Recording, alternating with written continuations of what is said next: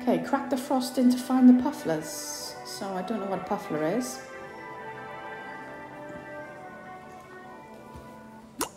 Let's have a look. Okay. All right, okay. I think I'm gonna call them Cecil. So it looks like we need to get three pufflers. So I will take that game suggestion on the left to get the combination there. Um, use the blue down the bottom. Can I see where the pufflers are? I don't think I can.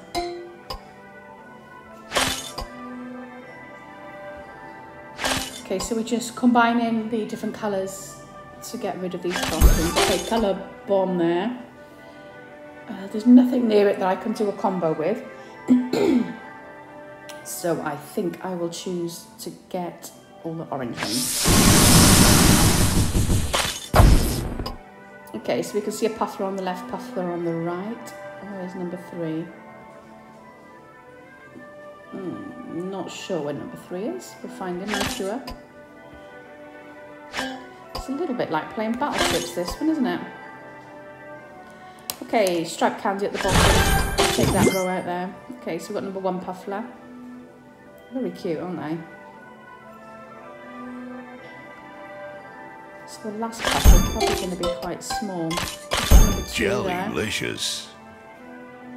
So we must be in the middle here somewhere. There we are. Okay, to get that red one on the right.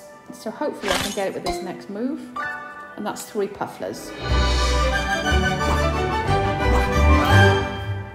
Sugar Crush.